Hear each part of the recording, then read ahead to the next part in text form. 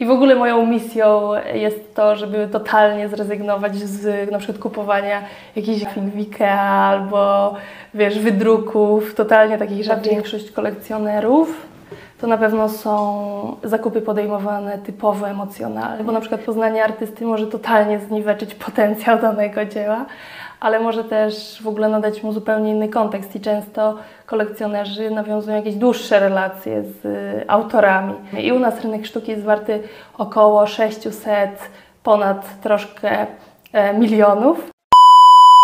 Jest to podcast dla ludzi, którzy interesują się rynkiem nieruchomości, rozwojem osobistym i doświadczeniami ludzi z pasją. Krzysztof Wądałowski, jestem założycielem agencji nieruchomości Premium Concierge House a to jest podcast Przestrzeni i Perspektywy opowiadający o rynku nieruchomości i innych dziedzinach naszego życia, które są często powiązane z nieruchomościami, a to wszystko opowiedziane z różnych perspektyw i punktów widzenia. Dzisiejszym moim gościem jest Aleksandra Żebrowska. Cześć Ola. Może zacznę od tego, e, powiedz kim jesteś, czym się zajmujesz i dlaczego to jest ważne. Cześć, mam na imię Aleksandra. E, prowadzę galerię sztuki, ale mhm. jestem też prawniczką. I dlaczego to jest ważne? To bardzo ciekawe pytanie, ale myślę, że jest to ważne dlatego, że mhm. żyjemy dla emocji i sztuka daje emocje. Daje szansę poczuć coś więcej. Daje szansę poczuć coś więcej, a te emocje dla Ciebie to, mm, to co to są? Jakby, kiedy te emocje u Ciebie są największe? Wtedy, kiedy jest jakiś wernisaż, czy przygotowanie, czy rozmawiasz z artystą? Kiedy te emocje u Ciebie się jakby wydzielają największe? Myślę, że bardziej chodzi o takie pierwsze zetknięcie z samym obiektem, z samym dziełem sztuki. Że kiedy czasami pierwszy raz widzę jakiś obiekt, jest to dla mnie czasami uderzenie, wielki szok i taka emocja, która napływa do ciebie i ogarnia twoje całe ciało. Ale czasami jest tak, przez to, że pracuję w galerii sztuki i przebywam dużo z tymi dziełami, to po czasie ta relacja się kreuje i wtedy naradza się taka największa intensywność tej emocji. I myślę, że to właśnie jest dla mnie taką kluczową kwestią przy prowadzeniu takiego miejsca.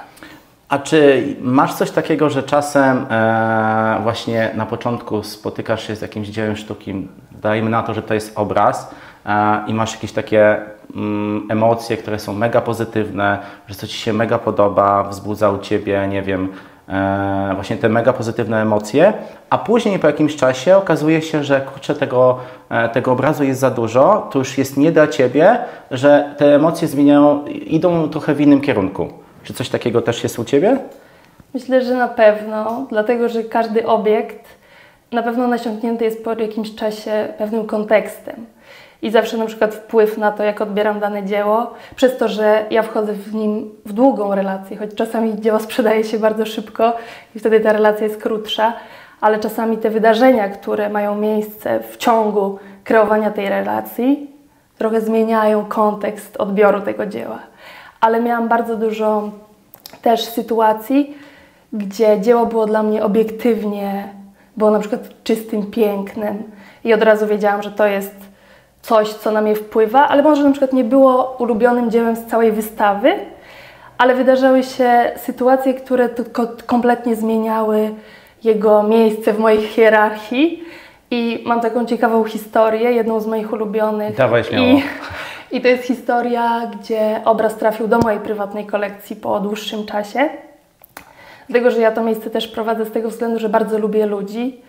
I właśnie to jest ogromna przyjemność, kiedy kolekcjonerami są zazwyczaj ludzie, którzy mają ogromnie dużo pasji w sobie, bardzo dużo jakiejś energii życiowej, no bo zdecydowana większość kolekcjonerów nabywa dzieła z tego względu, że czuje coś do nich właśnie, odkrywa tą emocję. I miałam taką sytuację, gdzie kolekcjonerka kupiła już obraz danego artysty, Następnie z biegiem czasu kupiła kolejny obraz tego artysty. Już się śmiałyśmy, że ma najwięcej danego artysty na metr kwadratowy w swoim domu. Czyli można powiedzieć, że trochę jakby poczuła tego artystę e, i, i, w jakiś sposób się z nim związała i dlatego jakby dokonała tych kolejnych wyborów, tak? Tak, tak, tak. I później była wystawa w Zachęcie, gdzie, do której właśnie dany artysta trafił na wystawę, gdzie tam było no, setka obiektów, wiele metrów kwadratowych wystawy Ja bardzo rzadko chodzę e, na taki obchód po instytucjach, ale pewnego dnia się wybrałam, żeby zobaczyć, jak ten obraz, który był w mojej galerii, wygląda w Zachęcie dokładnie. I szukałam tego obrazu, chodziłam, bo naprawdę wystawa była ogromna. Podeszłam do tego obrazu i przed nim stała ta kolekcjonerka ode mnie z galerii. I znalazłyśmy się w tłumie wielkiej instytucji przed jednym obrazem, wpatrzone jak w coś po prostu świętego. I ten obraz po takim czasie nabrał dla mnie tak ogromnego kontekstu i też związał trochę tą relację, a ta kolekcjonerka też dla mnie jest wyjątkową osobą, bo jest bardzo taka ciepła i właśnie bardzo emocjonalna i podchodzi do tego, do sztuki tak całą sobą i stwierdziłam, że ten obraz musi trafić do mnie i żyjemy sobie teraz na co dzień. Okej, okay, czyli, czyli w konsekwencji kupiłaś ten obraz, nabyłaś ten obraz, tak? Tak, z tego względu, że po prostu urodziła się ta relacja. I dla mnie ten obraz nie to, że jest obiektywnie, przedstawia dla mnie takie walory wizualne, które dają mi daną emocję, ale też ta historia i kontekst spotkania, które uważam, że może nie było do końca z przypadku, nadało tej pracy zupełnie inne znaczenie. Okej, okay, a dlaczego ta kolekcjonerka wtedy nie nabyła tego obrazu, tak? Miała poprzedni e, tego tak, artysty miał. i tutaj jakby czułem, e, gdzieś tam myślałam, że ta jakby historia skończy się tak, że ta kolekcjonerka nabędzie ten obraz, e, a, a to jednak ty, ty byłaś I, i co ona na to, tak? Znaczy myślę, że ona już miała tyle obrazów, a po drugie okay. to obraz 1,80 m na 160 to nie każdy jest chętny, żeby nabywać coś tak wielkiego. Znaczy nie każdy może ma przestrzeń też przy kolekcji, załóżmy swojej, więc u mnie stoi na razie na ziemi, ale może znajdzie miejsce.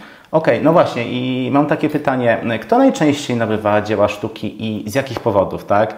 E, no bo rozumiem, że ktoś, nie wiem, jest kolekcjonerem, e, jest to jakaś forma inwestycji, mm, a jakie są naj, najczęstsze powody e, właśnie nabywania dzieł sztuki? Dajmy na to, że to są obrazy czy inna forma sztuki. Z jakimi powodami się gdzieś tam spotykasz? Myślę, że znakomita większość kolekcjonerów to na pewno są zakupy podejmowane typowo emocjonalnie. I tak jak gdzieś przed e, założeniem swojego miejsca myślałam, że ta grupa będzie się dzieliła też na osoby, które kupują na przykład dzieła sztuki inwestycyjnie, tak widzę, że to jest zdecydowanie mniejsza e, część kolekcjonerów. I to mnie bardzo cieszy, bo właśnie często jest tak i znakomita większość też zakupów jest podejmowana w taki sposób, że ktoś wchodzi i od razu wie, który to jest obraz, gdzie została właśnie ulokowana ta energia i jest od razu oddziaływanie. Więc często na przykład też mam sytuację, że ktoś przychodzi, widzi obraz i na przykład mówi, że przypomina mu to całą historię na przykład przebytej depresji, to jest dla niego uderzenie i kupuję na przykład swoje pierwsze dzieło sztuki. Miałam taką sytuację. Okej, okay, czyli można powiedzieć, że w jakiś sposób od początku, e, gdzie widzi ten obraz, czy zobaczył ktoś ten obraz, to mm -hmm. na to kolekcjoner, on w jakiś sposób od razu emocjonalnie się z, z, tym, z tym dziełem sztuki związuje. Mm -hmm. Tak, e, ja to tak odbieram. E, no właśnie, a czyli kolekcjonerzy, a czy są po prostu ludzie, którzy nabywają też e, dzieła sztuki, którzy na co dzień nie są kolekcjonerami, e, lubią sztukę, lubią piękno, ale gdzieś tam, nie wiem, mm, mają taką potrzebę, ok, to może ja zainwestuję trochę w sztukę, a może, e, może po prostu czują taką potrzebę, że żeby nabyć takie e, dzieło sztuki. Czy, czy takich ludzi też jest dużo? Takich osób masz na myśli, które przychodzą z pewną intencją, to znaczy nie są nastawione na to, że właśnie chodzi o tę emocję, tylko chcą dołączyć do grona na przykład kolekcjonerów? Tak, dokładnie. Eee, wejść, w wcześniej, świat. wejść w ten świat, wcześniej mhm. jakby trochę powiedzmy, że interesują się sztuką, e, ale nie mają żadnego obrazu czy dzieła sztuki, albo jeśli mają, to jednak to jest jakieś, e, to, to było jakieś nabycie przypadkowe, ale teraz zaczynają się mocniej interesować E, no i nie wiem, e, chodzić po galeriach, e, po galeriach, interesować się tym, czytać o tym i, i czy tacy ludzie są i, i jak dużo oni jakby nabywają obrazów czy dzieł sztuki. Myślę, że jest też taka część osób, które dokonują zakupów w ten sposób, ale myślę, że to jednak jest mniejszy procent. Ale myślę, że za każdym razem chodzi jednak w jakimś stopniu o tę emocję. Ja też zawsze przy każdym zakupie tak naprawdę mówię, że inwestycja w dzieło sztuki to jest inwestycja, na której nigdy nie stracisz, bo zawsze masz ten walor estetyczny, znaczy estetyczny, emocjonalny, bo to dzieło sztuki nie zawsze jest estetyczne obiektywnie, ale właśnie chodzi Mi o to, że zawsze odradzam zakupu, który na przykład stoi w sprzeczności z tym, co ty uważasz na temat tego dzieła sztuki. Czyli ono zawsze musi moim zdaniem mieć jakąś relację z tobą. Nie kupuj dzieła sztuki, które ci się nie podoba po prostu i widzisz w nim na przykład tylko inwestycje. Czyli jakby nie radziłabyś mi nabywać dzieła sztuki, które powiedzmy nie podoba mi się, ale obiektywnie ileś osób powiedziało mi, że to, że to jest dobra inwestycja, a, albo że to jest piękne, tak? I, i żebym to nabył, tak? No, jakby mówmy się, nie każdy ma mm, jakieś poczucie, nie wiem, może nie estetyki, tylko jakby nie, nie każdy się zna na sztuce. Mhm. No i powiedzmy, e, ta osoba chce nabyć e, dzieło sztuki, żeby pasowało mu powiedzmy do wnętrza, żeby to była dobra inwestycja. E, no ale zupełnie nie wie, e, nie wie co wybrać, tak? gdzie szukać, co wybrać. Mhm. Co byś takiej osobie doradziła, tak? jakby, która jakby nie ma tej wiedzy, tego doświadczenia, że gdzie ma szukać, czy ma kogoś się poradzić, czy to, co powiedziałaś, czy ma się zdać na te swoje emocje, tak? Jakiekolwiek one by nie były, ale to są jego emocje. Myślę, że nie trzeba rezygnować z obu rzeczy. Myślę, że można znaleźć dzieło sztuki, które będzie z Tobą grało i wejdzie po prostu w cykl Twojego życia, no bo myślę, że niewielu, niewiele osób na pewno przychodzi do mnie, albo może nikt nie był jeszcze taki u mnie w galerii, który kupuje dzieło, żeby je szybko zaraz sprzedać. Tylko na pewno pożyje trochę z tym obiektem. I myślę, że z tego względu jest to też bardzo ważne, że no, nigdy bym nie powiedziała, że nie możesz kupić dzieła sztuki, jeżeli bardzo Ci zależy, na którym możesz zarobić, ale które też będzie Ci się podobać. Więc myślę, że te dwie rzeczy mogą, można gdzieś odnaleźć na rynku. Rynek jest bardzo szeroki. Czyli no, jed, jednym słowem najlepiej to wszystko po prostu łączyć, tak? tak. Chyba, że, że ktoś jakby zupełnie nie patrzy na inwestycje, nie patrzy na pieniądze, tak. tylko patrzy na swoje emocje i to, co mu się podoba. Tak. Mm, a słuchaj, ja mam takie pytanie. E, a co uważasz, czy, czy właśnie tworzenie sztuki, czy sztuka może być formą terapii? Bo wydaje mi się, że mm, tak jak znam e, gdzieś tam artystów, którzy tworzą, oczywiście być może to nie są e, znane osoby, ale znam sporo osób, które tworzy i często to mm, jakby ten sposób twórczy, czy ten czas twórczy, to jest właśnie taki czas, gdzie, gdzie te osoby przeżywają różnego rodzaju emocje. Bardzo często to są emocje negatywne, być może też pozytywne, ale mm. spotykam się głównie, że, że ktoś, nie wiem, jest w jakimś dołku, przeżywa ne, negatywne emocje i często jakby mm, ten proces twórczy pomaga mu, nie wiem, zrozumieć, trochę jakby złapać dystansu, złapać innego punktu widzenia. I jak Ty to postrzegasz? Czy, czy tworzenie, czy proces twórczy to jest, czy może być, czy jest w ogóle wręcz formą terapii? Myślę, że na pewno i często też to słyszę od artystów, że dla nich to jest jakiś proces uzdrawiania i też, że często na przykład w ogóle dla artystów e, proces samego tworzenia to jest moment, gdzie wchodzą w jakiś w jakimś stopniu w hipnozę na przykład i dla nich to jest takie właśnie uleczające, ale myślę, że też z tej strony właśnie odbiorców, że często zdarza się, że właśnie to, jak ktoś, kogoś uderzy ta pierwsza emocja, mm, może odnaleźć w tym jakąś formę terapii. I często też kiedy dochodzi do spotkań artysta-odbiorca i spotykają się przy danym dziele, też właśnie z tego względu, że ten artysta wiązał tworzenie tego dzieła z jakąś formą terapii dla siebie, to oni odnajdują wspólny, wspólny język przy danym obiekcie i właśnie to też jest piękne. No ale pytanie na przykład, dlaczego Ty chodzisz na przykład do galerii sztuki? Dlaczego odwiedzasz muzea? Bo to wiem, że odwiedzasz. Mhm. Wiesz co, no ja generalnie mm, e, tutaj pewnie jest wiele powodów, e, ale takie najważniejsze, że po prostu lubię piękno, lubię to, co mi się... Jestem też pewnie estetą e, i szukam jakby czegoś, co do mnie trafi pod względem mhm. takich, można powiedzieć, pod względem estetycznej jakby wizji tego, co mi się podoba, ale też właśnie do tych, tak jak Ty mówisz, te, te emocje, żeby do mnie trafiły, tak?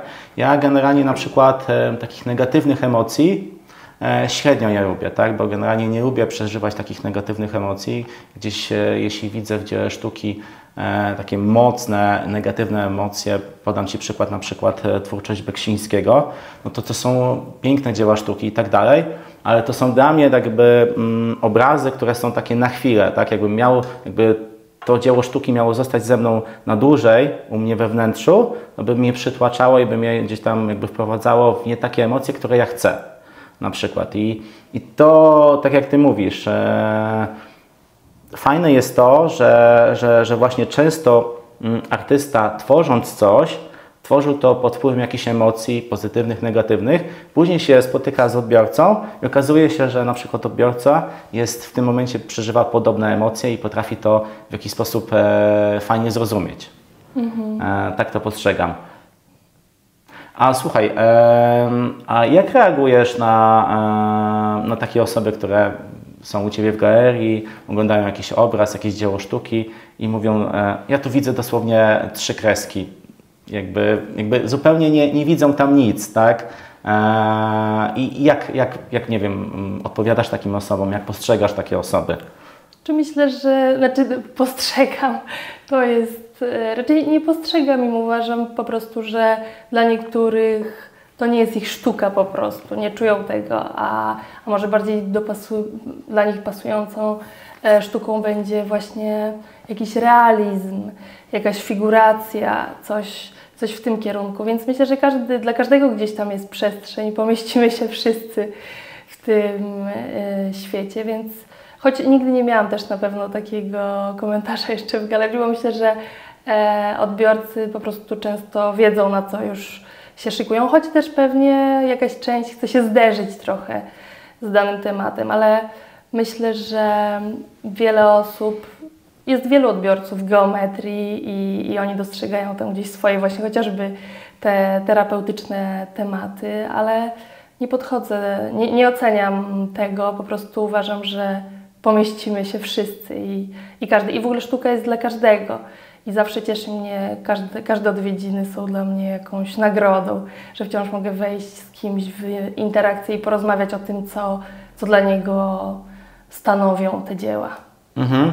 No, cały czas jakby wrócę do tych emocji, o których powiedziałaś na początku, czyli na przykład jak ta osoba e, niewiele widzi w tym, e, w tym, dajmy na to, obrazie, widzi dosłownie te trzy kreski, ale gdzieś tam obcuje z tą sztuką, obcuje z tą twórczością, to może się okazać, tak mi się wydaje, że po jakimś czasie on zaczyna dostrzegać zupełnie inne rzeczy niż na początku, tak? Na przykład poprzez rozmowę z artystą, e, czy z rozmowę z osobą, która jakby mm, zupełnie inaczej postrzega dane, dane dzieło sztuki. Czy, czy też tak jest, że, że ta optyka się zmienia?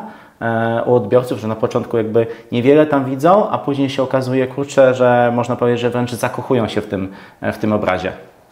Myślę, że na pewno, że w ogóle ten kontekst jest bardzo ważny i często chociażby, chociaż to działa też w dwie strony, bo na przykład poznanie artysty może totalnie zniweczyć potencjał danego dzieła, ale może też w ogóle nadać mu zupełnie inny kontekst i często kolekcjonerzy nawiązują jakieś dłuższe relacje z autorami i wtedy to zupełnie też odbiera tym dziełom jakieś pierwotne znaczenie. I mam też kolekcjonerów, którzy odwiedzają artystów na wyjazdach zagranicznych, więc to jest zupełnie coś. A to jest ciekawy temat właśnie, bo tutaj jakby mówisz o takiej reakcji, która może się wywiązać między kolekcjonerem czy, czy osobą, która nabywa dane dzieło sztuki, w momencie kiedy poznaje twórcę e, i wydaje mi się, że to jest takie bardzo jakby nasze, takie ludzkie, tak? Poznajemy tą osobę, e, obcujemy z tą osobą i w tym momencie już nie mamy tylko przywiązania do dzieła sztuki, bo nam się coś podoba, bo to są nasze emocje, tylko już przywiązujemy się do tego twórcy. I jak często zdarza się, że, że takie relacje się wywiązują? mi się wydaje, że obopólnie, tak? No bo to jest tak, że okej, okay, ten kolekcjoner jakby nabywa to dzieło sztuki, może mieć fajnie współgrać e, z tym artystą, ale żeby ta relacja się wywiązała, to musi być chyba dwustronnie. I jak często takie relacje się wywiązują e, i czy one są na lata i, i jak to w ogóle wygląda? Większość artystów w ogóle ma bardzo dużą satysfakcję z każdego sprzedanego dzieła. Często też jest tak, że w ogóle artyści sami z obiektami ciężko się rozstają i dla nich to jest po prostu czasami utrata jakiegoś kawałka siebie, więc też są chętni e, w znakomitej większości do poznawania nabywców dzieł sztuki i czasami artyści mówią do mnie, że na przykład spróbujmy sprzedać tę pracę temu kolekcjonerowi, bo ona musi trafić do dobrej osoby.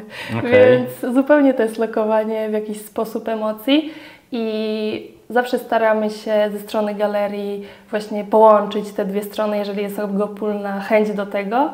I mam wiele takich przykładów, gdzie kolekcjonerzy i artyści właśnie są gdzieś w, na świecie, w jednym mieście i organizują wspólne spotkania, ale też u nas zawsze po wernisażach staramy się organizować aftery, żeby właśnie kolekcjonerzy mieli szansę spotkać się z tymi artystami trochę od innej strony. I, i, I nawiązać prostu... głębszą relację po tak, prostu, tak? Tak, tak. I myślę, że to jest w ogóle bardzo częste. A po drugie, często jest tak, i ja jestem e, winna tego, że po prostu na przykład swoją kolekcję w, też w jakiejś tam części mam budowaną tak, że na przykład uwielbiam danego artystę i jego sztuka pierwsza, to była pierwsza rzecz, która uderzyła do mnie, więc ta sztuka na pewno ze mną gra, ale po poznaniu artysty na przykład chcę więcej tych dzieł, bo wiem, że po prostu to jest osoba, która tak wiele wartości niesie w sobie, no i też jest super człowiekiem. Więc te dzieła, tak jak, to właśnie chcę wrócić trochę do momentu, o którym wspomniałeś, że chcę żyć z czymś, co dla mnie daje pozytywne emocje i co do takiej sztuki właśnie bardziej w tę stronę negatywnych, na pierwszy rzut oka, takiej warstwy wizualnej, kwestii jak na przykład Beksiński, no to może nie do końca chcę się otaczać taką sztuką na co dzień z tego względu, że ona daje mi jakieś takie negatywne emocje. I tak jak dzieło jest obiektywnie na przykład przedstawia coś pozytywnego, a do tego artysta jest dla mnie jakąś pozytywną postacią, no to to daje mi też na co dzień życie z takim obiektem, daje mi jakąś porcję pozytywności. No chyba takimi rzeczami chcemy się otaczać. I właśnie dla mnie to też jest bardzo ważne w dziełach sztuki. Więc myślę, że w dziele sztuki, co by się wydawało na pierwszy taki rzut oka, że to jest e, płótno nabite na jakieś deski, a tak naprawdę to jest coś o wiele większego. Może mieć i kontekst, i tą warstwę wizualną, i masę historii, i tak naprawdę może Ci dawać taką radość na co dzień, że odmieni na przykład Twoje życie. I mamy wiele takich feedbacków od e, kolekcjonerów, którzy wracają, mówią, że dla nich po prostu to jest coś tak wielkiego. Mhm. A czy jest też coś takiego, że na przykład kolekcjoner ma dane dzieło sztuki i poprzez to, że ma to dzieło sztuki inne osoby wiedzą na przykład o tym, on być może komuś pokazuje, bo nie wiem, jacyś jego znajomi, czy w ogóle ludzie z zewnątrz chcą e, to zobaczyć, on jest otwarty, żeby to zaprezentować. I przez to, że on nabył to dzieło sztuki, rodzą się jakieś w ogóle historie, czy znajomości, czy, czy, czy w ogóle jakby tworzy się zupełnie inna historia, jakby spowodowana tym, że ktoś ma to dzieło sztuki, nabył, dzieli się tym ze światem, i jakby mm, można powiedzieć, że rozwija się, że to dzieło sztuki żyje w jego życiu? Czy, czy takie historie się zdarzają? Też na pewno. I w ogóle jest zawsze staram się przekazywać artystom, którzy nie chcą rozstawać się ze swoimi pracami, że najlepsze, co się może wydarzyć dla Twojej pracy, to jest to, żeby ona żyła i żeby tak jakby dawała tą energię i żeby szły jakieś działania za tym, bo właśnie jak dzieło trafia na ścianę do jakiegoś kolekcjonera, to ono wchodzi w interakcję z o wiele większą grupą niż tylko z tą jedną osobą. I też staramy się po prostu tworzyć okazję do tego. No i tak jak Ci wspominam, też u nas w galerii stawiamy bardzo na ten kontekst, czyli mhm. organizujemy jakieś spotkania, chcemy, żeby i kolekcjonerzy się poznawali i często jest tak, że właśnie kiedy na przykład mamy finisarz czy wernisaż danego artysty, to właśnie kolekcjonerzy, którzy nigdy wcześniej się nie spotkali, nawiązują jakieś długie relacje. Ja myślę, że to jest największa przyjemność w ogóle sprowadzenia takiego miejsca, kiedy widzisz, że dzieło roztoczyło po prostu taką nić swojej jakiejś energii, która połączyła o wiele więcej niż jedną osobę z obiektem i artystą. Mhm. A słuchaj, e, mam takie pytanie odnośnie mm, jakby sztuki, która jest gdzieś tam w naszej przestrzeni. Podam Ci takie przykłady, na przykład e, w Warszawie mm, jest taki budynek apartamentowy Clint House na Starym Okotowie, gdzie jakby mm, architektura tego budynku i można powiedzieć części wspólnych budynku na, nawiązuje do twórczości Gustawa Klimta. E, w tej chwili też powstaje nowa inwestycja w Warszawie w takim kompleksie Towarowa 22. Ta inwestycja nazywa się M7 e, i tam też jakby dla mieszkańców tej inwestycji ma być taka stworzona prywatna galeria sztuki, można powiedzieć tak by. I mi się wydaje, że z tego, co ja obserwuję rynek nieruchomości i takie topowe budynki, to coraz bardziej zwracamy w ogóle uwagę na to, żeby ta sztuka zaczęła w jakiś sposób nas otaczać. I co Ty myślisz właśnie o tym, e, czy to jest dobry pomysł i czy powinniśmy w tym, jakby w tym kierunku iść, czy, czy inwestorzy, deweloperzy, czy, czy w ogóle klienci, czy zwykli ludzie, którzy gdzieś tam aranżują swoje mieszkania, apartamenty, czy powinniśmy właśnie w, ty, w tym kierunku iść, żeby ta sztuka była z nami jakby bardziej obecna, żeby ona czasem kreowała nawet tą przestrzeń? Czy to jest dobry pomysł w ogóle? No myślę, że to jest bardzo dobry pomysł. I e, ja sama żyję tak, że mam obraz na obrazie i czuję, że to mi daje, e, po prostu wnosi bardzo dużą wartość do mojego życia, ale myślę, że to jest bardzo dobry kierunek, bo też na przykład to, że masz szansę opatrzeć się z dziełami sztuki, rozwija Twoją kreatywność, pozwala patrzeć na wiele kwestii w zupełnie inny sposób. I na przykład dobrym przykładem jest to, że we Francji wchodzi ustawa, gdzie w przestrzeniach publicznych w każdym budynku musi być dzieło sztuki. Mhm. Więc to tak naprawdę jest wiele badań, które udowadniają też, że to wpływa po prostu, ma pozytywny wpływ na nas. No i tak z punktu widzenia tego, jak ja jestem prawniczką, mogę powiedzieć to, że prawo, ekonomia da, pozwala temu światu jakoś funkcjonować, no ale żyjemy dla tych emocji właśnie, czyli dlatego, żeby coś czuć więcej. No i to tak jakby dla mnie dzieło sztuki jest czymś takim korową wartością, dlaczego w ogóle chce nam się wstawać rano, bo, bo chcemy coś czuć, coś więcej. Mhm. A jak Ty uważasz właśnie, że e... czy zetknięcie z takim dziełem sztuki to jest dla Ciebie właśnie często taki jakiś impuls, czy zupełnie to omijasz, jak wchodzisz do budynku? Zwracasz na to uwagę, czy jest to dla Ciebie obojętne? Nie, ja totalnie zwracam na to uwagę w ogóle, jak, jak ten budynek jest urządzony, zaaranżowany, a w ogóle jeśli tam jest jakieś dzieło sztuki, no to dla mnie to jest jakby taki jakby punkt, można powiedzieć, że zatrzymania i obserwacji, czy czy, czy mi się podoba to dzieło sztuki, czy ono jakby dodaje temu wnętrzu,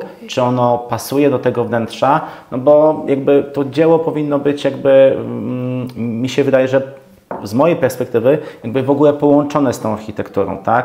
Jakby mhm. pasować e, jakby do tej architektury, do tego wnętrza i wtedy ono jakby super zagra. Właśnie nawiązałaś do Francji. E, wydaje mi się, że u nas to się powoli, powoli zmienia, ale w ogóle we Francji chyba od lat 50. jest takie prawo, e, że każda instytucja publiczna E, typu, nie wiem, muzeum, no muzeum to już wiadomo, tak, ale typu, mm, nie wiem, sąd, szkoła, wszystkie instytucje publiczne mają obowiązek 1% e, swojego budżetu przeznaczyć właśnie na nabycie dzieła sztuki, tak? Co Ty mhm. myślisz o takim pomyśle w Polsce, tak? No dla mnie to było fantastyczne w ogóle. Wiesz, chciałabym żyć w przestrzeniach publicznych, gdzie są świetne dzieła sztuki, bo wiadomo, że kiedy wchodzi się czasami do jakiegoś miejsca i są wydruki na płótnach, to ja już mam ciary na całym ciele. I w ogóle moją misją jest to, żeby totalnie zrezygnować z na przykład kupowania jakichś grafik w Ikea albo wiesz, wydruków, totalnie takich rzeczy pozbawionych jakiegoś właśnie takiego kontekstu, jakiejś warstwy wizualnej, e, takiej oddziałującej na nas, więc no to w ogóle uważam, że takie zmiany są bardzo potrzebne. I w ogóle w takim kraju jak u nas, kiedy my nie mamy na przykład tradycji kolekcjonerskich, tylko trochę musimy się nauczyć tego sami i, i wejść w ten świat, no ale to wynika czysto z kontekstu historycznego. Mieliśmy trochę inne rzeczy do roboty niż edukację może na temat e, sztuki, ale ciekawą rzeczą właśnie jest to, że nasz, nasz kraj w ogóle się rozwija i, i też e, na przykład nasz rynek polski w Warszawie głównie, który się dzieje, wyprzedza takie rynki, które właśnie mają już tradycje kolekcjonerskie. Choć jest dla mnie ciekawym zetknięciem i tu mam właśnie ciekawą e, historię, kiedy poznałam, e, w, jeszcze pracując w korporacji, e, kolegę finansistę z Francji, który był dwa miesiące w Polsce i zapytam się go, czy w ogóle się interesuje sztuką. Powiedział, że nie, ale był na wszystkich wystawach w Warszawie i okolicach. No, tylko mówi, że dla niego to jest normalne. Tak jak iść do sklepu, iść do kina, no to musiał objechać wszystkie wystawy, jakie są w okolicy.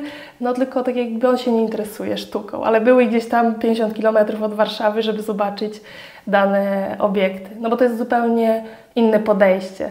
Okej, okay, czyli masz na myśli, że po prostu e, on był jakby trochę z innego środowiska, jest w nowym miejscu, na co dzień jakby sztuka go super mocno nie pasjonuje. Albo nie wspomniał o tym, że się przeprowadził z Paryża do Warszawy? E, jeszcze nie. to było najważniejsze, że okay. był to właśnie Francuz, który Aha. wprowadził się do Warszawy i on po dwóch miesiącach życia tutaj, przez to, że miał tą edukację, to przepraszam, bo to było bardzo istotne dla tej historii, no ale dla niego było priorytetem po prostu, żeby zobaczyć te wystawy. Więc no to jest zupełnie inne podejście niż chyba mamy u nas w Polsce. Dokładnie, ale wspomniałeś o tym, że ten rynek w Polsce jest w tej chwili jakby rośnie e, i czy mam to odbierać tak, że na przykład rynek polski jest w tej chwili większy niż e, w innych jakby dojrzałych krajach, można powiedzieć, że bardziej artystycznie albo jeśli chodzi o rynek sztuki. Mam tu na myśli jakby wolumen sprzedaży, tak? Mhm. Bo chyba chciałaś o tym powiedzieć, że w tej chwili jakby dużo się u nas jakby nabywa tej, tych e, dzieł sztuki. Czy masz jakieś informacje, ile my jakby wolumenowo można powiedzieć my Polacy nabywamy i czy to jest jakby czy to jest tak, że my nabywamy te, te dzieła sztuki w Polsce, czy też e, już są tacy kolekcjonerzy, którzy też są otwarci na, na cały świat i, i kupują e, jakby m, mm, tak naprawdę na całym rynku globalnie? Ciekawostką jest to, ostatnio się czego dowiedziałam właśnie e, od kolegów e, ze świata sztuki, że polski rynek sztuki jest warty tyle, co polski rynek majonezu. Więc tak naprawdę to ja robię w majonezie. Więc to można przeliczać. No i często porównują na przykład, że są pokazywane statystyki, że rośniemy, choć w tym, e, w ostatnim roku tak naprawdę tendencja jest spadkowa, ale w całej Europie ze względu na sytuację spowodowaną wojną na Ukrainie, bo ludzie, którzy kupują dzieła sztuki takie już powyżej 50 tysięcy, inwestują dalej, bo chcą gdzieś tam dywersyfikować swój portfel, ale poniżej tego y, pułapu te zakupy spadają i rynek sztuki w Europie spadł o 30%, włącznie z tymi krajami, gdzie ten rynek sztuki jest na zupełnie innym poziomie. I u nas rynek sztuki jest warty około 600, ponad troszkę E, milionów. W skali roku. Tak, tak, tak, ale on się gdzieś tam rozwija, tylko na przykład pandemia była takim momentem, gdzie był ogromny wzrost i tam się działy rzeczy niebotyczne, więc teraz może też mamy taką kwestię związaną z korektą tego zjawiska. Ale cały czas się rozwijamy i sama widzę po swojej galerii, że wiele osób przychodzi i kupuje dzieło sztuki po raz pierwszy. Ale to często właśnie chodzi o, o tą emocję, ale też przez to, że społeczeństwo staje się coraz bardziej bogatsze i gdzieś pojawia się ta możliwość. Czy jednym słowem mamy już gdzieś te podstawowe potrzeby e, życiowe zaspokojone i patrzymy trochę w innym kierunku. Patrzymy, tak. patrzymy właśnie na, mhm. mamy dobre mieszkanie, e, stać nas na samochód, stać nas na podróże, wygodne życie i patrzymy trochę na, na te emocje, szukamy czegoś innego. Mhm. E, a słuchaj, a tak pod względem inwestycyjnym, e, no bo to wydaje mi się, że, że dużo osób może mm, zainteresować. Jakbyś miała doradzić osobie, mm, przykładowo właśnie najprawdopodobniej są osoby, które nas w tej chwili e, słuchają albo będą słuchać, które chcą zainwestować jakby w sztukę. Myślą, jakby jeśli chodzi o zakup dzieła sztuki, stricte jakby głównym powodem jest powód inwestycyjny. Co byś takim osobom doradziła? Czy w ogóle sztuka to jest w ogóle dobra inwestycja, to jest raz. Mhm. I co byś doradziła takiej osobie, w co należy inwestować, mm, żeby na przykład za, w takim horyzoncie średnioterminowym, na przykład za 5 lat, e, móc to, to dzieło sztuki e, sprzedać za 5, 10, 15 lat, żeby to mhm. dzieło sztuki sprzedać z jakimś zyskiem, tak? W co i, i jak to robić? I czy w ogóle to się opłaca? Hmm, myślę, że to jest bardzo ciężki temat z punktu widzenia galerzysty, ale w ogóle moja historia jest taka, że pierwsze w ogóle swoje oszczędności wydałam na obrazy i pamiętam jak moja mama mi krzyczała, że nie masz wcale pieniędzy, a wydajesz na obrazy. I to był taki e, mój e, centymetrowy moment życia i spotkanie ze sztuką, gdzie ja myślałam, że w ogóle podejdę, że trochę dzieł sztuki to ja kupię sobie inwestycyjnie. E, historia jest taka, że nigdy w życiu nie sprzedałam żadnego swojego dzieła, także poszło to w tę stronę, no bo poszło zupełnie w stronę emocji. Ale myślę, że rynek sztuki na pewno jest kierowany pewnymi prawidłami, które są przewidywalne i wielu osobom wydaje się, że to wejście do tego świata jest obarczone jakąś wielką tajemnicą. Jak do tego podejść? To rozwiń to, jakby mówisz o tych prawidłach. Jakie to są prawidła dla takiego zupełnego laika? Tak, tak jak... żebym wszystko straciła wszystkie karty Y, Wszystko nie, ale jakby takie mm, podstawowe jakby mm, rzeczy, którymi nale- należy się mm, kierować przy zakupie właśnie dzieł sztuki. Tak, czysto inwestycyjnie? Powiedzmy, że czysto inwestycyjnie, bo zakładam, że te emocje, one się po prostu zrodzą, tak? Tak, Jak ale- ktoś e, podchodzi do tego inwestycyjnie, ale później wiadomo, że te emocje jakby nie oszukamy siebie, one się, to, to jest z nami, tak? I Tak. zawsze te emocje będą. Ale tak jak właśnie wspominałam to na początku, nigdy nie, nie podejmowałabym decyzji nawet kupując dzieło e, z intencją, że chcę kupić to jako czystą inwestycję. Nigdy nie kupiłabym dzieła, które mi się nie podoba. Jest dla mnie obrzydliwe. Uważam, że to jest po prostu droga donikąd i naprawdę uważam, że działa to w każdym przypadku.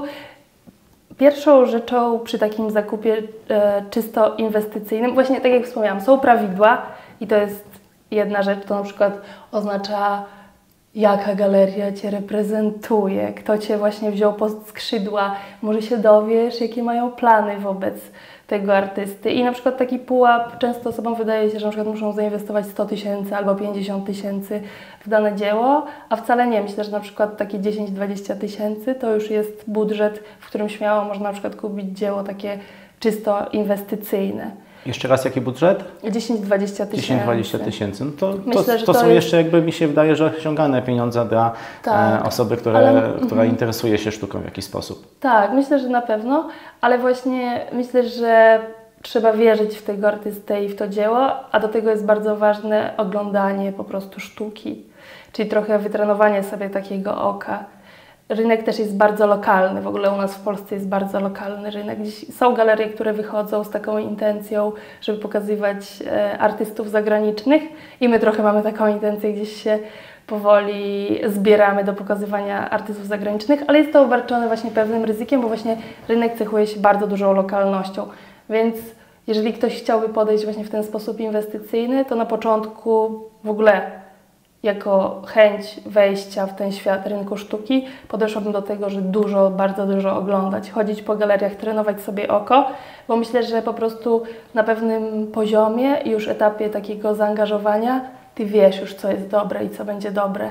Bo są oczywiście takie sytuacje, bo to jest rynek wciąż i cechuje się jakimiś finansowymi kwestiami, kiedy dzieła sztuki są na przykład złe, ale są wypromowane w taki sposób, że one mogą być dobre inwestycyjnie, ale myślę, że to jest obarczone większym ryzykiem taka inwestycja.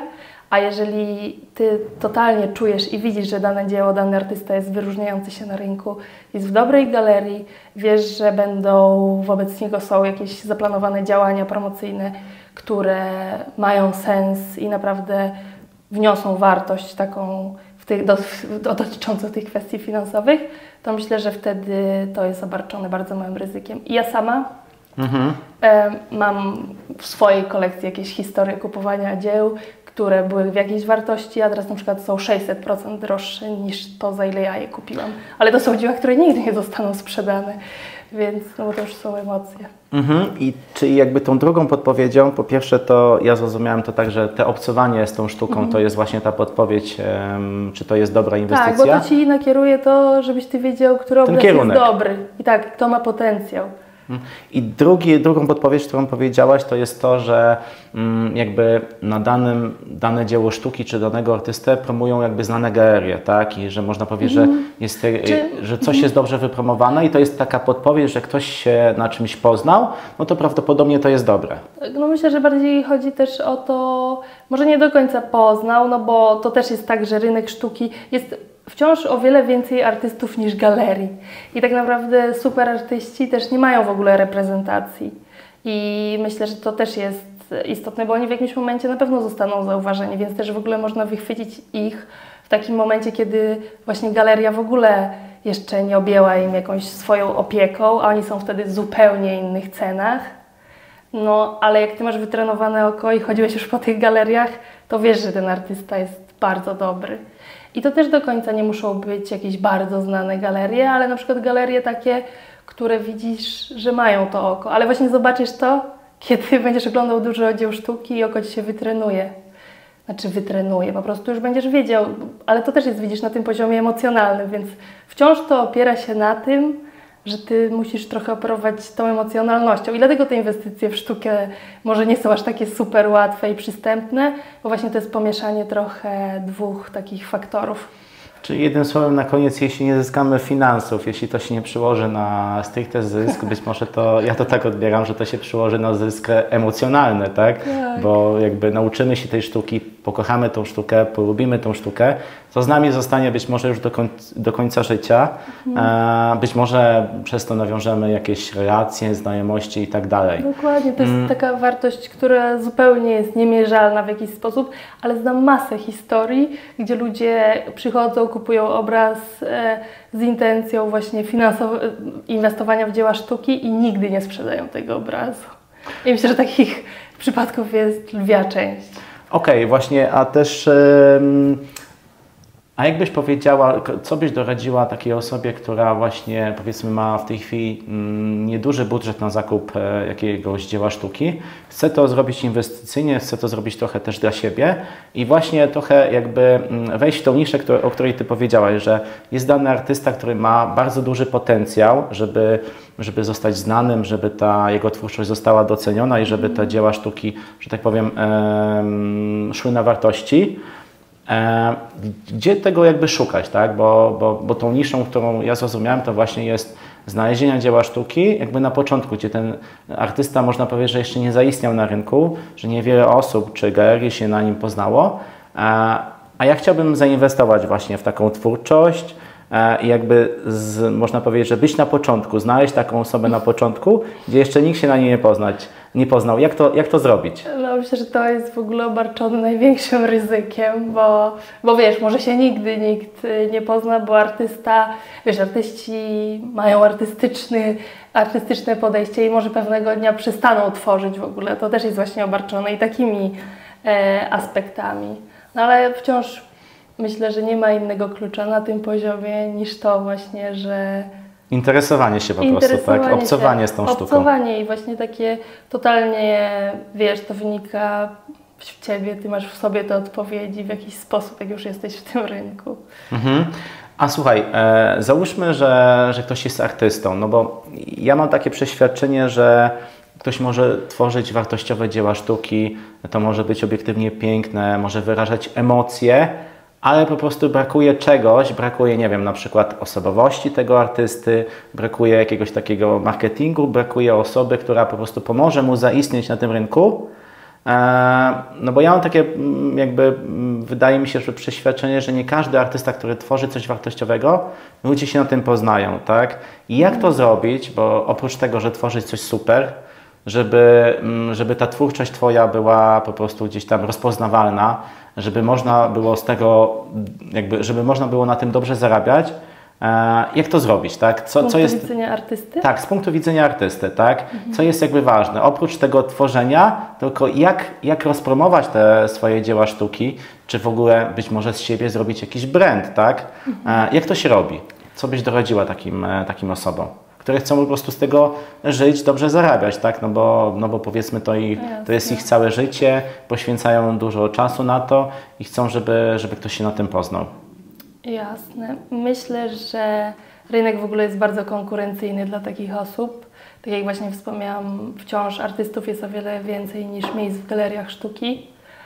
E, ale nie do końca. Trochę teraz mamy taki świat, że na pewno właśnie budowanie tej swojej marki, to znaczy Instagram, na pewno właśnie też bardzo ważną kwestią jest ten rozwój, czyli cały czas pracowanie, gdzieś patrzenie po prostu też trochę jakimi e, zasadami kieruje się ten rynek i wejście w to w taki sposób, bo często artyści mają takie przeświadczenie, w Polsce istnieje trochę taki mit, że artysta to jest męczennik i w ogóle nie powinien nic sprzedawać w życiu, tylko wiesz, siedzieć w jakimś ciemnym miejscu i tworzyć do szuflady, ale to trochę... A skąd się wiadomo, to bierze w ogóle taki się mit? celem. Że, że, że dlaczego artysta jakby nie może na tym dobrze zarabiać, z tego żyć, jakby cieszyć się też jakby tym aspektem, tak? Myślę, że właśnie trochę ja tego do końca nie rozumiem, z czego to wynika. No na pewno właśnie wynika to e, z tego, jaki hermetyczny też jest rynek i właśnie to, jaki ten rynek narzuca za, em, jakiś regulamin zachowania dla artystów. Ale myślę właśnie, że na pewno Często artystom się wydaje, że oni wchodząc w ten rynek komercyjny, czyli właśnie sprzedając te swoje prace, e, muszą zrezygnować z jakiegoś takiego aspektu właśnie bardzo artystycznego, czyli na przykład będąc artystą komercyjnym nie możesz być artystą scenicznym, czyli muzealnym. A właśnie totalnie można połączyć te dwa światy. Można być i artystą, który super się sprzedaje, ale wciąż nie traci tego kontekstu właśnie takiego konceptualnego chociażby. Czyli gdzieś tam, wiesz, ta warstwa taka typowo artystyczna, gdzie ta sztuka jest naprawdę niesie ze sobą jakieś ogromne wartości, wciąż nie, nie że te światy absolutnie można połączyć. No ale myślę, że takimi właśnie ważnymi kwestiami to jest na pewno wciąż staranie się o to, żeby robić jak najwięcej wystaw, żeby pokazywać się, żeby prowadzić ten Instagram. Myślę, że w ogóle teraz mamy takie czasy, że jednak Instagram to jest y, lwia część, chociaż teraz już trochę zmieniły się algorytmy i to nie do końca ma taką skuteczność jak kiedyś, ale wciąż właśnie atakowanie tak naprawdę odbiorców z każdej strony i staranie się po prostu, wiesz, podkreślenia tej swojej widoczności. Czyli jednym słowem jakby dać się zauważyć, dać się znaleźć. Czyli mm, tu też powiedziałaś o czymś ważnym, e, że, że artyści mają właśnie taki punkt widzenia często, że w momencie, kiedy zaczną jakby promować się, jakby to wtedy będzie ta, ta ich sztuka bardziej pokazana komercyjnie, wtedy oni coś stracą z tej swojej mm. twórczości. Skąd tak. to się bierze w ogóle? Dlaczego, e, czy to się bierze z, tych ich, e, z tej wrażliwości artysty, że, czy jakby z tego jego otoczenia, w którym on przebywa, innych artystów i w ogóle tego świata, że w momencie, kiedy on wyjdzie w tym, z tą swoją sztuką komercyjnie, to, to wtedy, nie wiem, mm, nie będzie tak dobrym artystą? Z czego to się bierze? Myślę, że trochę jest racji w tym, co mówisz. Po prostu Myślę, że mm, jest wiele takich niepisanych zasad, przez to po prostu, że ten świat jest bardzo hermetyczny. I wielu artystów uważa, że właśnie robiąc coś, zamykają sobie drogę do czegoś innego. I tak naprawdę no, trochę świat się też na pewno rozwija i idzie w zupełnie inną stronę.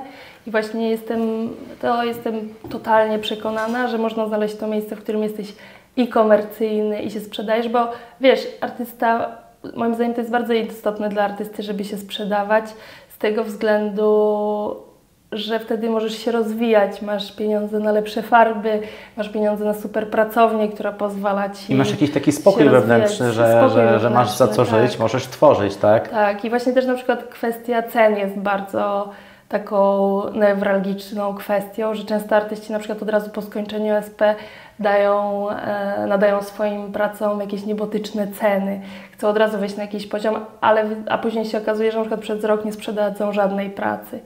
A to właśnie jest bardzo, bardzo trzeba podejść z dużym pedantyzmem do tego, właśnie też mieć jakieś argumenty za tym, czyli jakieś wystawy, czy to właśnie super, jak masz jakieś wystawy w muzeach, instytucjach, ale też właśnie w takich galeriach prywatnych i że za tym idą jakieś argumenty. Na przykład u mnie w galerii jest e, tak, że na przykład sprzedajemy pracę zawsze w takiej samej cenie, jak artysta sprzedaje z pracowni. Bo często jest tak, że galerie na przykład narzucają jeszcze jakąś większą marżę, co na przykład e, sprawia to, że artysta jeszcze staje się bardziej niedostępny. A właśnie tak jak wspominałam, fajnie jest, jak te prace się sprzedają z tego względu, że one żyją i właśnie znajdują się w jakimś domu. To wzbudza jakieś wiesz, powód do jakiejś dyskusji o tym artyście. Tak naprawdę ten marketing napędza się sam.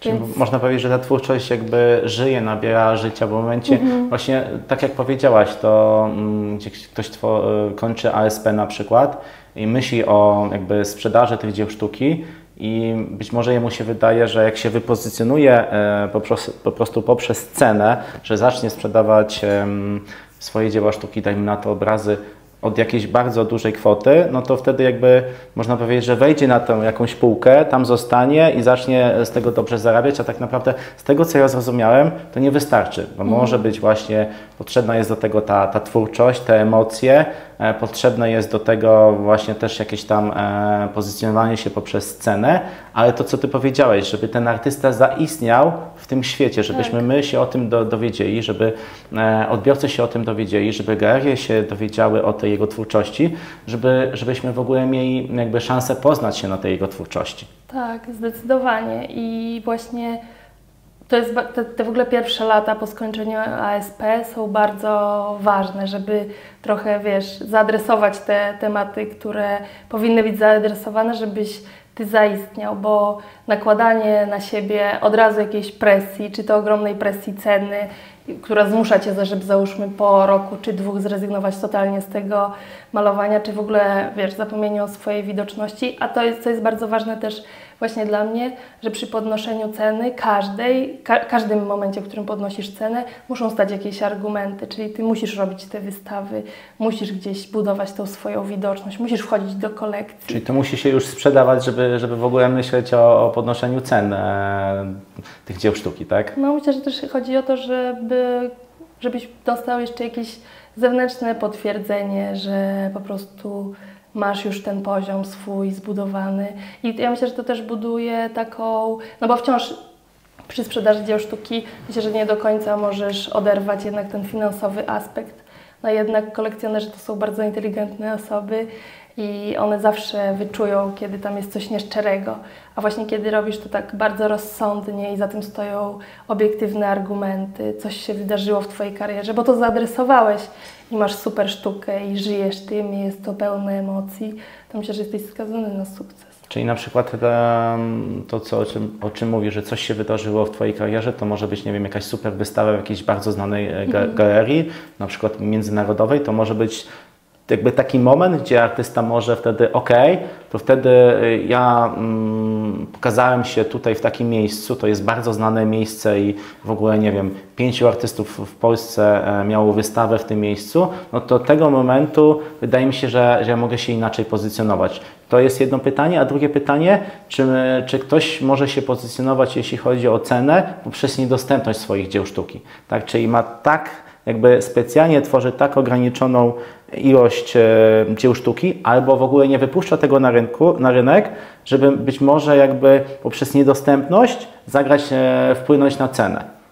No to już są takie, myślę, bardzo jakieś kwestie um, dość związane z wieloma niuansami, no ale myślę, że to też na pewno wpływa na cenę. No jeżeli artysta jest w stanie w ogóle wytworzyć, załóżmy, pięć prac w roku, to wiadomo, że po prostu zdobycie tego dzieła sztuki jest o wiele trudniejsze dla kolekcjonera. Wtedy myślę, że no samo przez siebie to ile włożył pracy też w dane dzieło. No a są artyści, którzy tworzą, wiesz, 150 prac rocznie, ale na przykład potrafią świetnie ulokować je na całym świecie.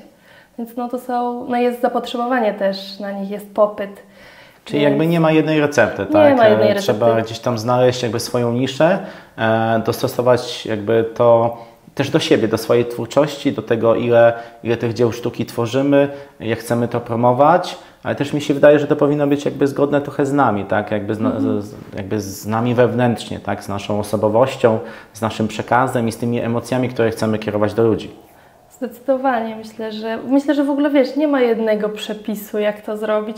Myślę, że są, wiesz, może jakieś ogólne reguły, kilka jest tych reguł, które jak będziesz przestrzegał, to one na pewno Ci nie zaszkodzą, no ale tak jak właśnie wskazujesz, że to jednak jest tak, że możesz sobie dostosować tą ścieżkę, już tak uszyć pod siebie, ale myślę właśnie, że w ogóle korem jest to, żeby, żebyś w ogóle ty kochał to, co robisz, żeby to było szczere.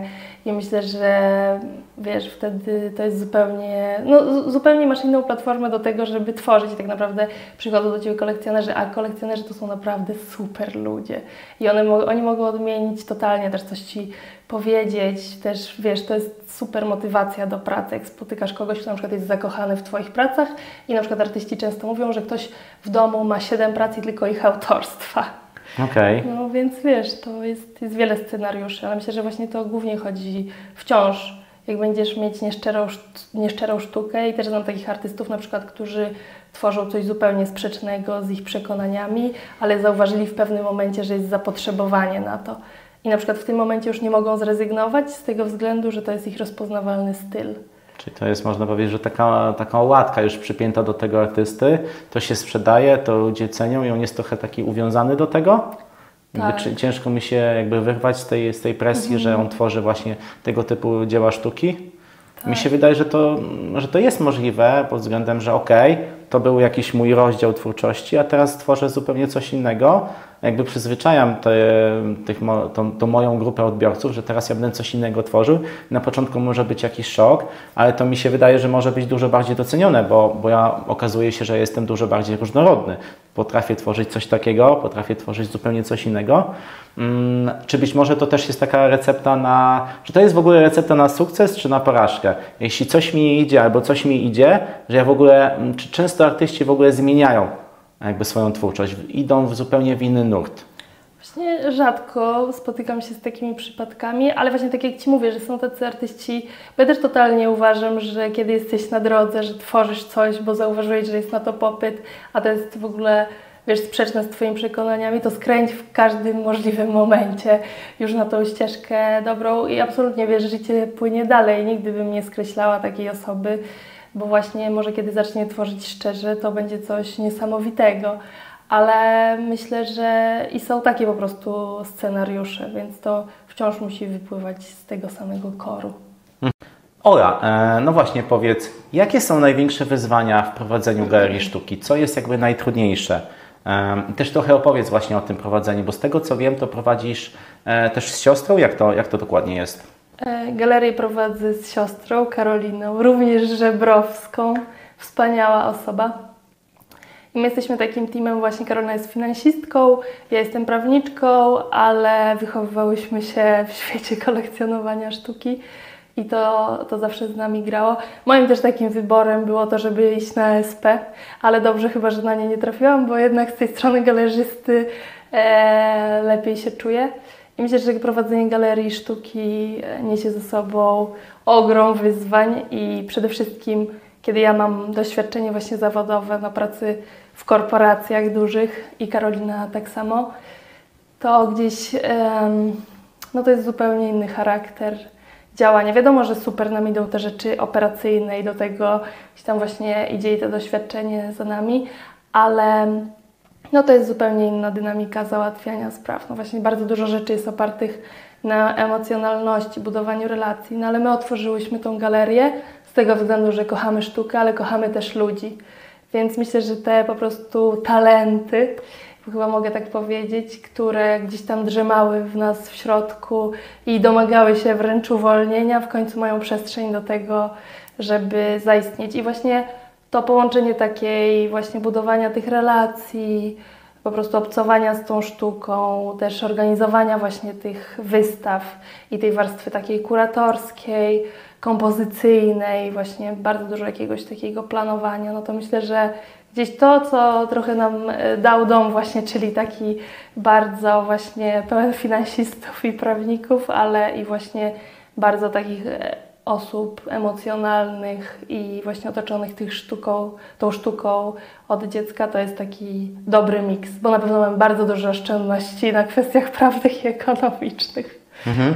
Czyli to, że gdzieś tam e, poprzez dzieciństwo w Twoim otoczeniu właśnie byli ludzie, była gdzieś ta sztuka, e, to tak jak mówisz, niewątpliwie Ci pomaga jakby w prowadzeniu tej galerii.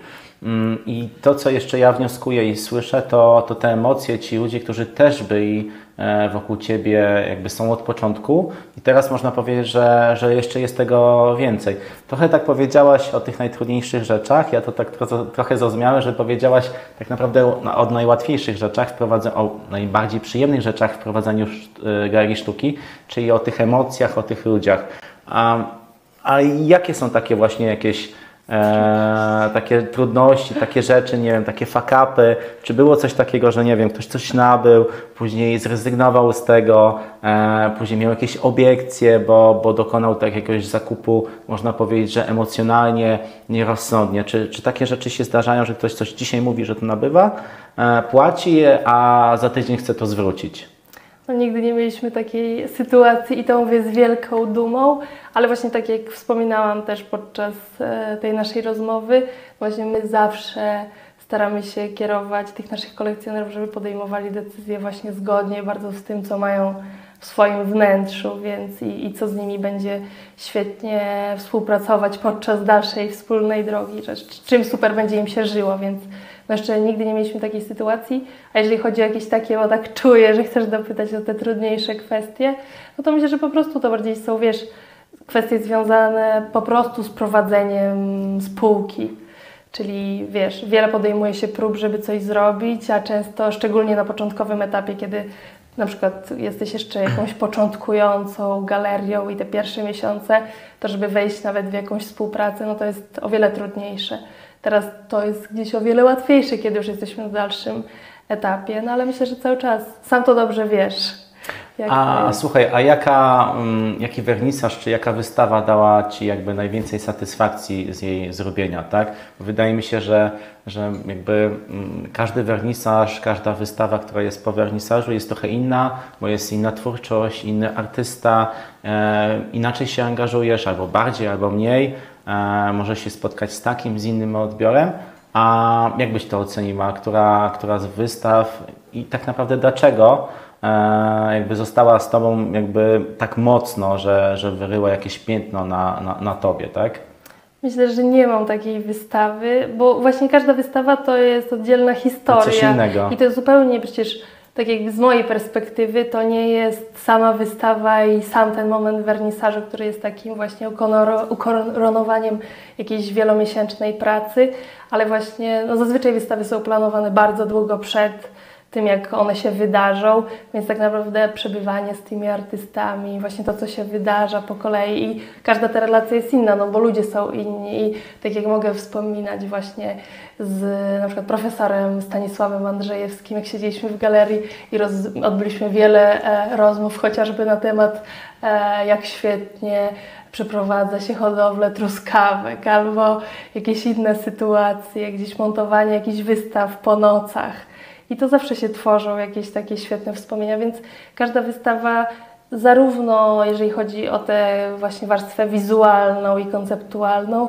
niesie też dla mnie taką warstwę po prostu, wiesz, towarzyską i budowania tych relacji, więc no nie mam takiej ulubionej wystawy, ale jestem pewna, że każda wystawa i każda właśnie współpraca z danym artystą daje mi bardzo dużo i bardzo doceniam mhm. każdą z nich. A czy mm, z wieloma artystami, który, których jakby miałaś, e, przeprowadziłaś wernisaż i wystawę, masz do tej pory taki mocny kontakt? Czy to jest tak czasem, że okej, okay, jest, jest ta wystawa, jest wernisaż, są te emocje, macie relacje, ale po jakimś czasie, nie wiem, kilku miesięcy mm, ten kontakt jednak e, zanika, bo jednak to nie są, można powiedzieć, że relacje się nie rozwinęły, a czasem te, te relacje można powiedzieć, że nawet rozkwitają, że macie bardzo intensywny kontakt. Jak to jest u Ciebie? Czy to jest trochę tak, czy trochę tak, czy różnie? Właśnie my, kiedy nawiązujemy współpracę z danym artystą, to też trochę opieramy się na tym, czy chcemy iść dalej, na podstawie tego, czy mamy fajny flow między sobą. Czy się czujecie, można czy powiedzieć. Czy czujemy się, więc tak naprawdę myślę, że z każdym artystą jesteśmy w kontakcie i po prostu z każdym mamy relacje, bo gdzieś po prostu tą decyzję o tym, czy chcemy coś robić wspólnie, to zawsze podkreślamy, że musimy się czuć, obie strony muszą się czuć, żeby powstało właśnie coś szczerego i takiego zbudowanego na dobrych intencjach. Więc z każdym artystą do dziś mamy super relacje i wiadomo, że z niektórymi mamy takie relacje, że dzwonimy do siebie co trzy dni, a z innymi co siedem dni, ale to jest bardzo zależne, no ale jednak z każdym ta relacja w jakiś sposób istnieje. Okej, okay, czyli nie tylko biznes, biznes, tylko relacje, emocje e, i tak naprawdę to relacje na lata i, i, gdzieś tam znajomości na lata. A teraz takie trudne pytanie. Mm, dokładnie, teraz, teraz trudne pytanie. Słuchaj, jakie dzieła sztuki e, są dla Ciebie najbardziej wartościowe? E, jakie są dzieła sztuki dla Ciebie najbardziej ulubione? Co byś powiedziała i, i dlaczego? Tak? Jakie masz obrazy czy inne dzieło sztuki, które jest dla Ciebie najbardziej ulubione i dlaczego? Hmm, no myślę, że na pewno nie mam jednego ulubionego dzieła. Na pewno przez to, że wiadomo, mamy jakąś tam wiedzę też taką odnośnie jakichś klasycznych artystów, to po prostu wielu, wielu takich bardzo klasycznych twórców jest mi bardzo bliskich i doceniam właśnie taką sztukę, mimo że na przykład nie otaczam się taką sztuką w domu, ale jak jestem czy w Rzymie, czy we Florencji, czy w Madrycie, zawsze po prostu pójdę do danego muzeum, jakieś jedno dzieło sztuki, chociaż wejdzie ze mną w taką interakcję, że te wrażenie pozostaje na lata, ale jednak moimi ulubionymi na pewno artystami i obrazami są te, z którymi żyję na co dzień.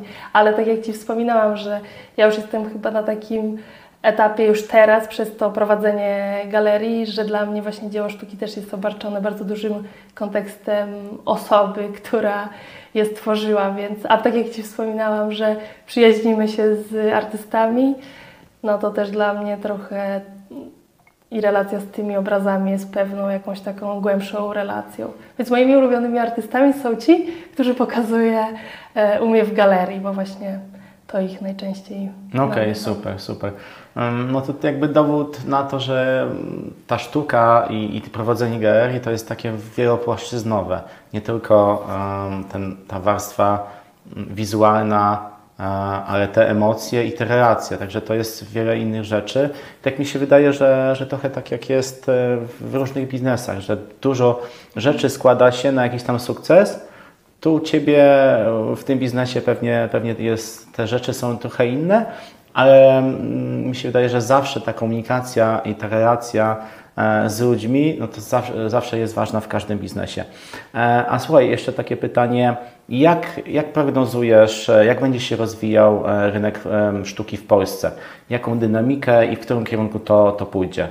Mm, myślę, że po pierwsze to jest bardzo zależne właśnie od takich czynników, jak to, czy jest wojna, czy jest pandemia, więc takie po prostu czy takie nasze, nasze nastawienie, tak? Jak czegoś się obawiamy, no to wtedy gdzieś tak by, być może z mniejszą chęcią e, tak. chcemy inwestować w sztukę. Tak, ale myślę, że wciąż to będzie rynek będzie poddawał się korektom po takich wydarzeniach i myślę, że na pewno będzie się rozwijał z tego względu, że cały czas świadomość społeczeństwa rośnie i też coraz więcej osób właśnie prowadzi czy to szkolenia związane z, z dziełami sztuki, czy nawet korporacje, w których ja miałam okazję pracować, organizowały takie spotkania, więc myślę, że na pewno rynek wciąż będzie rosnął.